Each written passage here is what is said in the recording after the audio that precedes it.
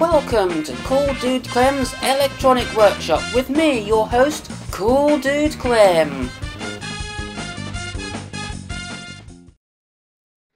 Okay, it's time for another Cool Dude Clem's Electronic Workshop because I thought it was about time I start doing videos again. Now, what you looking at here?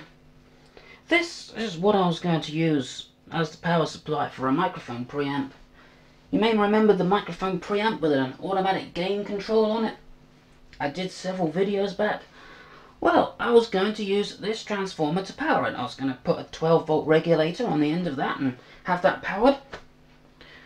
I thought this would give out about 15 volts, which is enough headway for that thing, but let's just take a reading of what voltage this actually gives out. Disappointing. Not even 11 volts. And I wanted to use that transformer. Ah, it doesn't even spark. Well, I'm still going to use that transformer for the microphone preamp power supply. So what I'm going to do is I'm going to make a voltage doubler. This is the circuit here. Actually, it's the wrong way around. There we go. Got this idea from American 5 Radio, All American 5 Radio. That's the circuit I'm going to build. So, first thing to do is get this transformer off this little bit of board here, then start making the circuit. Right, now let's take this thing apart.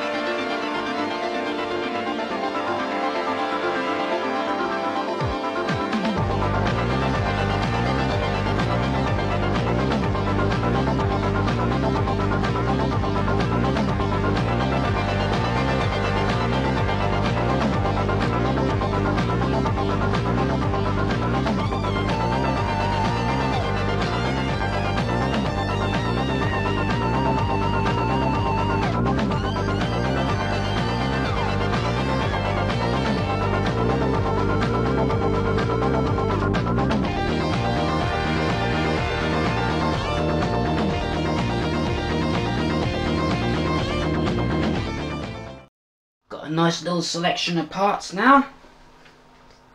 There's the transformer, the circuit board, capacitor, and some diodes. Don't know what these actually are. Let's just take a closer look at this. This is a 1N4001, so I guess the others are going to be 1N4001s as well. That should be good enough. After all, it's always a good idea to salvage parts. Anyway, just going to need a couple of capacitors, and we can build the voltage doubler. So here's the parts I'm going to use. As you can see, same transformer. Only going to need to use a couple of diodes, and here are the capacitors. So I guess now it's time to wire those up in this configuration.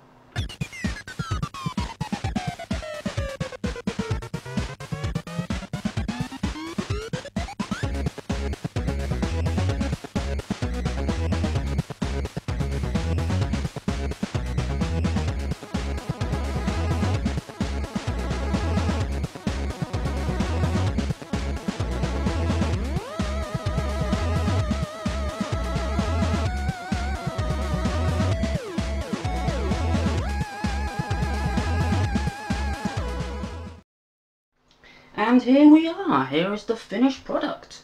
Let's see if we've increased the voltage.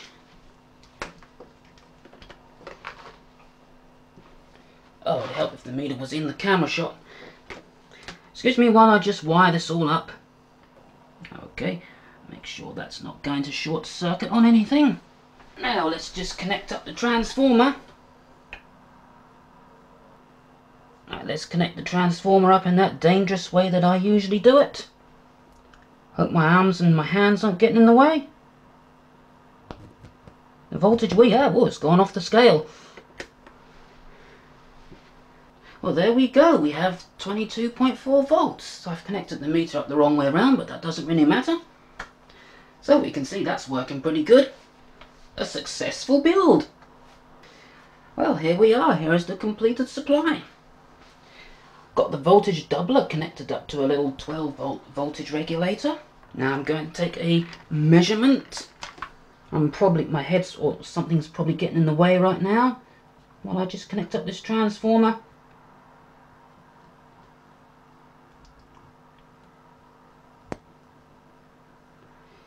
Okay, there we go. That seems to be working. Getting 12 point, just over 12 volts on the thing. This little voltage regulator uses a, um, I think LM7812 or something like that. You know, one of those simple regulator chips. That's giving me the kind of supply that I need. Slight drawback though, even though I've built this successful power supply to power that microphone preamp, I've lost the microphone preamp, can you believe it? So I guess that's going to be for another video because my battery's running out so I better go now. So until next time, goodbye.